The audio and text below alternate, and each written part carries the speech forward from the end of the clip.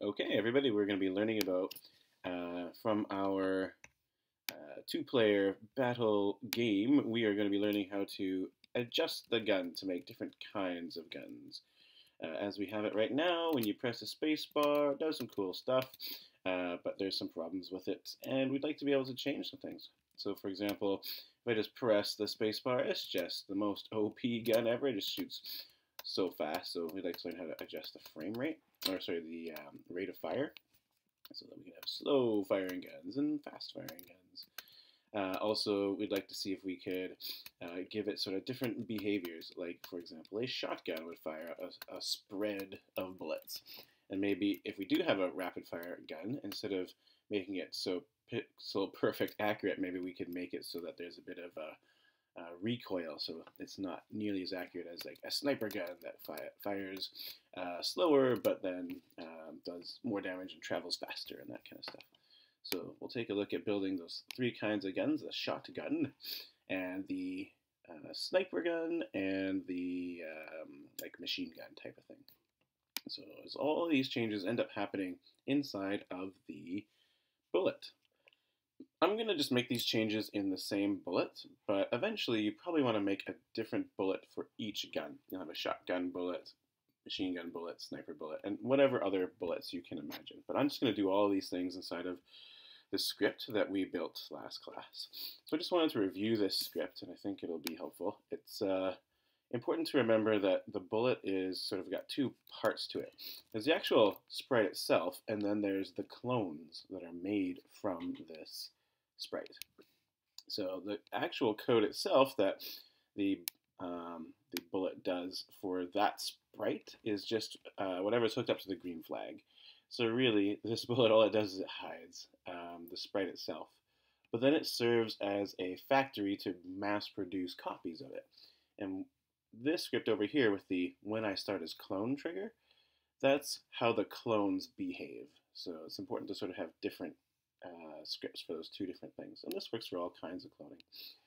Uh, then, excuse me, then we are going to just take a look at how uh, this script works. And there's really three parts to it.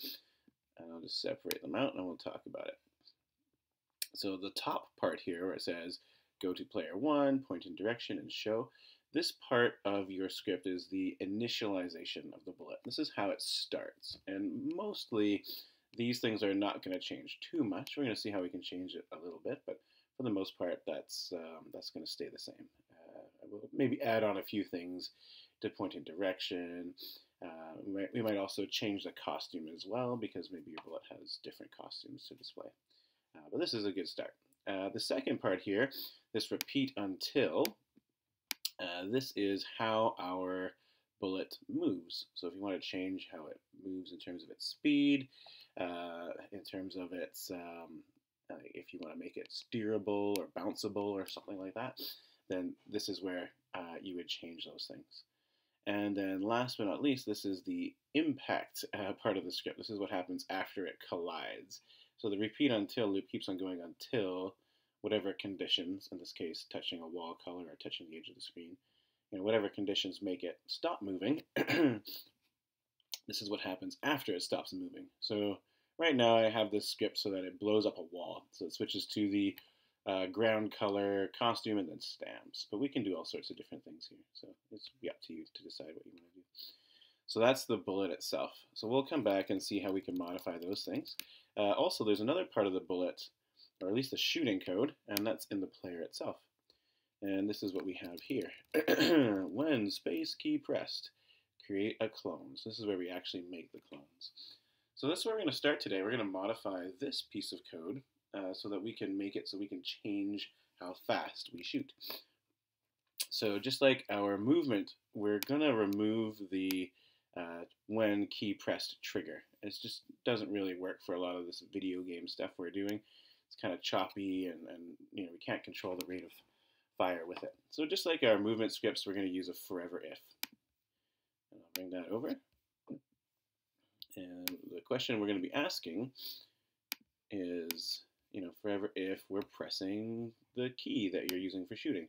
So for me, that's going to be space key. So we can take a look at this slightly modified script. It's not quite done yet, but the idea is that, you know, every time you press the space, you're constantly checking to see if that's happening, and if we do, we're going to make a clone of the bullet, and then the cloning script will take over. So that's good, but uh, now we have a structure that we can actually pause or delay, and the way we do that is with a wait. So, you know, if you wanted a, you know, one second uh, delay before you shoot again, then this script would make that happen perfectly. So it makes a clone, but it waits another second before it's going to come back and check to see if you're pressing space again. And you can type in any number there, uh, whatever you think is appropriate. So if we just test it out for a second, if I press space, oh, I guess I have to fix my code first of all in the bullet. Let's put this back together. Uh, if I press space, then we'll see that one bullet comes out every second or so and that's great. And also notice that we can steer and shoot. Before that wasn't possible. Uh, if we moved, then the key was stuck. Um, you know, we wouldn't be able to press space and move at the same time. But I'm holding down three keys right now, and it's working out pretty well. I'm not sure about what happens at Byng because the keyboards uh, are fairly basic, and there's something called keyboard ghosting, where a keyboard can only register so many um, keys down at the same time gaming keyboards have like fantastic um, you know limits on that where you can press you know 10 12 keys and, they all register. But the typical dell keyboards that we have at school you know we'll be lucky if they do like three or four. So it'll make it a little bit hard to play uh, multiplayer games on them. But you know what? That's okay. It's just a limitation of the keyboard and you know we can use uh, gaming keyboards uh, i have at least one at school that we can use to test stuff Okay, so that's great. So we were able to limit the rate of fire, and now we can sort of think about what we would do for uh, making different kinds of guns. So let's start by making a shotgun. A shotgun is basically a gun that it's going to have a, a, slow rate of fire like we have right now, but it's going to shoot a spread of bullets.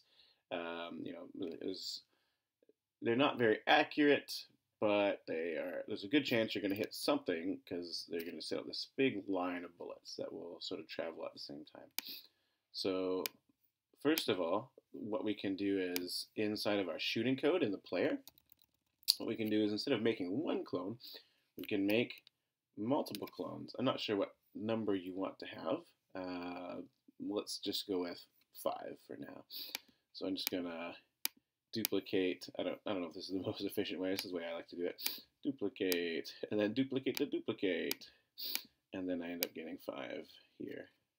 So this will actually make five clones of the bullet, and then wait one second before we get to shoot again. Um, you can also use a repeat loop here, but the repeat loop has a, a, secret delay, so it wouldn't make them all come out at the same time.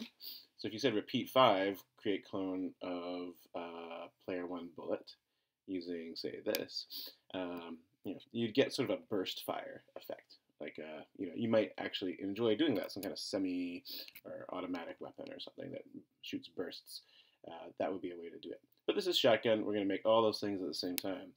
And if I show you this you'll be like oh great let's see the shotgun and it still looks like one bullet. I assure you there are five but because they are all following the same script here they all go to the same place and they all point in the same direction. So they're just overlapped on top of each other. So what we need to do is make them change how they start. And that's going to be, if you recall, this part of it. We're going to change not where they go, but we're going to slightly alter their direction that they face. We're still going to point generally in direction of player one, but we're going to add some uh, random offset to that number so that we can, um, you know, have them go in different directions. So instead of just pointing straight in that direction, we'll point in that direction plus a random number. So it will be sort of relative to this direction, but will be offset. And here's my random number. I'm going to choose a number between, uh, we'll start with minus 10 and positive 10. And we'll see what that looks like. So we'll point in the direction that player 1 is facing, plus or minus 10 degrees in uh, either direction. Let's see, how does that look? I'll press spacebar and, oh, I forgot to reconnect. Let's try again. So now I'm to get some space here. Uh, not bad. You can sort of see it spreading out a bit. Uh, and you can see it's like, it's kind of interesting effect where some of them hit earlier. Uh, you definitely have sort of an area of effect that uh, gets uh, destroyed as your shotgun goes. And the added bonus of the shotgun is when you're really close, you know, you might get like multiple bullets hitting something. So, you know, you could do lots of damage uh, early on. Looks like you can also shoot through things where, you know, one of your bullets gets taken out, but the other ones continue through. Um, yeah, maybe I'd alter that a bit more. Like if you did like between minus uh, 180 and positive 180. Uh, you know, this isn't really a shotgun anymore, but it's still a cool gun. So now you just sort of shoot um, in uh, any direction. You're just spraying bullets out wherever you go. You can't really. I guess it's sort of still relative to your direction a bit, but you know, you could have some some fun with that. Maybe a better choice might be negative 90 and positive 90. That would be an arc uh, sort of around you. So you're shooting generally forwards, but you have zero accuracy. But hey, you're shooting five bullets, so you know maybe maybe that's still pretty good. And if you're close enough to the target, that'd be you know maybe a worthwhile uh, gun. uh, you know you can get kind of carried away with things though if you were to you know say wait zero seconds and then and then turn that on. It's just the sprinkler of doom, and that's a pretty OP weapon. This might be an ultimate ability uh, that you eventually gain, just like Sprinkler of, of Destruction, uh, that you could uh, enjoy. Maybe a burst of know, one second of shooting that, and, and that would be fun. Bullet Storm, I think, is, is clearly the name that you need to use for that ultimate ability. Just going to drink water here. Excuse me. All right. So that is one kind of gun. Um, now let's take a look at making, say, a, a rapid fire gun that has, um, you know, low, um, low accuracy, I guess. Same kind of idea. We're going to leave this code in here, maybe not minus 90. We'll go back to minus 10 and positive 10. Ooh. Not sure how that happened, but there we go. And what we'll do is um, you know, again, we'll make this weight maybe, you know, 0.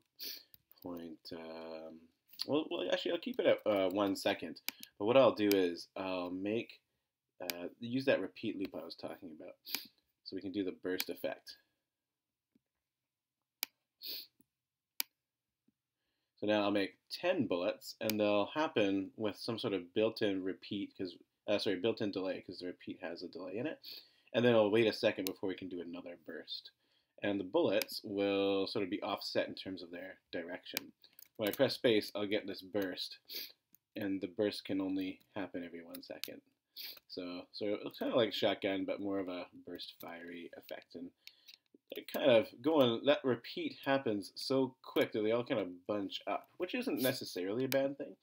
Um, if you wanted to increase the speed, and make them spread out a bit more, then this would be where we go. Maybe you want to do 15. If you go too fast, you run the risk of skipping over your opponent. They actually, you know, teleport as they go. But this is sort of a little more, a little more burst fiery now, I guess. so there's another addition. What about making a sniper rifle? Well, sniper rifle is really just one shot. And we can put our, our script back to the way we had it before. And like I said, you can uh, make it so that it travels faster. So we have our one shot that travels quickly. I will set it to like 20 or something. It might be getting a little bit dangerous, depending on the size of your sprites. So, you know, slow reload rate, but faster bullet. And then you could also add in some other special abilities. Uh, obviously bullets can't pass through walls, but this doesn't have to necessarily be bullets, right? This could be some magic spell or something that you're doing. So if you wanted to make it pass through walls, uh, that's all about how it's moving. So instead of having repeat until touching pink or edge, we could just do the edge.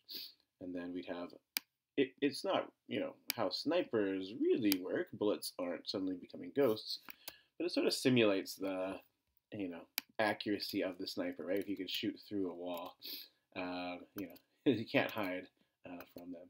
it's kind of up to you what you think about that. Uh, maybe I'll restart it and you can see that it'll pass through all the walls. That seems pretty strong to me, but uh, you know, what am I to say?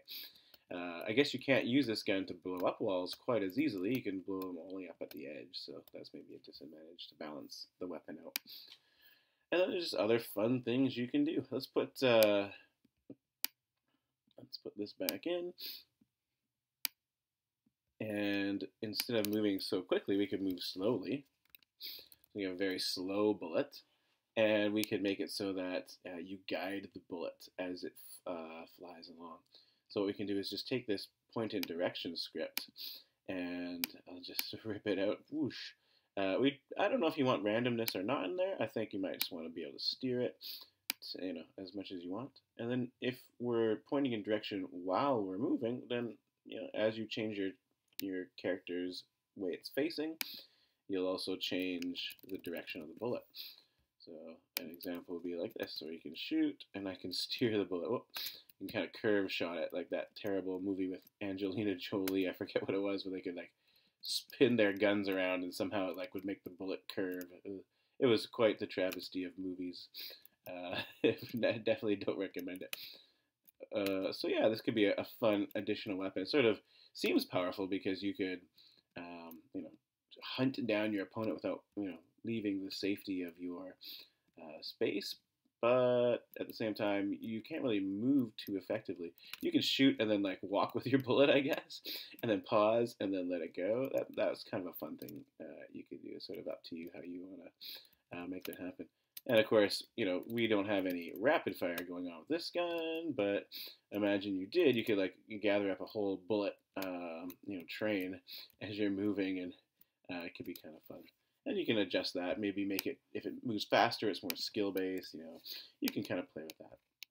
You know, last but not least, we haven't really talked about how we can alter the last part of this uh, script. I don't have a lot of uh, pretty things to show you to make it happen, but you can make a whole range of costume effects happen. So you can make a little explosion and, and have some cool special effects. I, I will hazard to make a, a very basic little explosion here. Let's uh, let's use orange or something. I'll just draw some lines here. Da, da, da. I've, I've seen enough comic books to know what a basic uh, explosion looks like. So I'll try not to spend too much, whoops, too much time on that. There's, ugh, it's not great. It's not bad. Oh, yeah, goes well. That's okay. uh, and then maybe some red in the center. Poosh. This is, this is my best uh, try explosions here. I'm sure you guys will come up with something more beautiful. Uh, you know, a great thing to do is just download a picture of an explosion. I highly recommend it, unless you're like, you know, great at art. Little uh, orange center. I don't know why. There we go. Poof, there's my explosion costume. Uh, so what I can do is I can switch to my explosion costume before I move on to anything else. So here is uh, me switching to an explosion costume. Just It's called Costume 3, awkwardly. Uh, I should probably name that Explosion. And then maybe I'd like it to do some effect. Um, I could make it spin, I could make it grow, I could change the size. It's sort of up to you. I'll just uh, do I'll just do a loop where I change uh, ghost effect and I change pixelate as well. So here's pixelate, uh, and I'll change them. I guess I'll ghost it to invisible. So I'll ghost it uh, by 5, and I guess I'll ghost pixelate by 5. And I'll make a repeat loop to make that happen 20 times to add up to 100. And then I'll reset all the effects and then stamp after it. So I'll clear graphic effects and then switch to the purple costume so now I have a lot more elaborate ending script, right? I'm going to switch to the little explosion I drew. I'm going to do some effects to make it look like it's exploding, and then I'm going to clear those away, and then stamp this. Uh, the stamp, maybe maybe the stamp should come first now that I think of it, because the hole should be there already. uh, but you can experiment with different ordering of things. So I'll put the the stamping and exploding, and then then the costume change. So let's see. That might not be the best choice.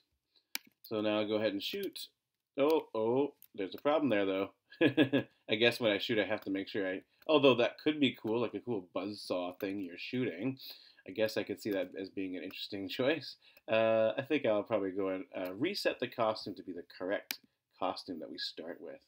So in the bullet, that's something I'm going to add to my initialization script. So I'm going to make sure I'm got my right the right costume for the job when I start off. So I'll start it at costume one. And a lot of graphical improvements can be done to my project, and you know I'm hoping you're thinking about those as you go along. So now I can shoot just a regular red bullet, and then it turns into a bit of an explosion. Which looks all right. I think it could probably be better, um, but it, it's a it's a start. And you know, think about how you can have multiple costumes for that explosion that are changing as opposed to just a single one. Uh, the explosion could have like a large radius of damage, possibly, so that you could take uh, you know area effect damage when it when it hits. Maybe it's a big red circle around it, and your uh, players are you know allergic to red. They take damage from.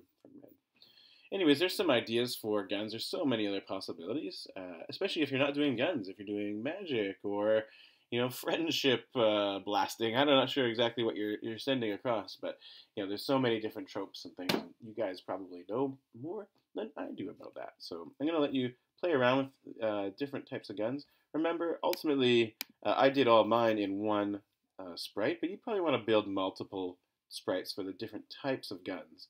And then later on, we'll take a look at how we can sort of select which gun we shoot when we press the spacebar. All right, thanks everybody.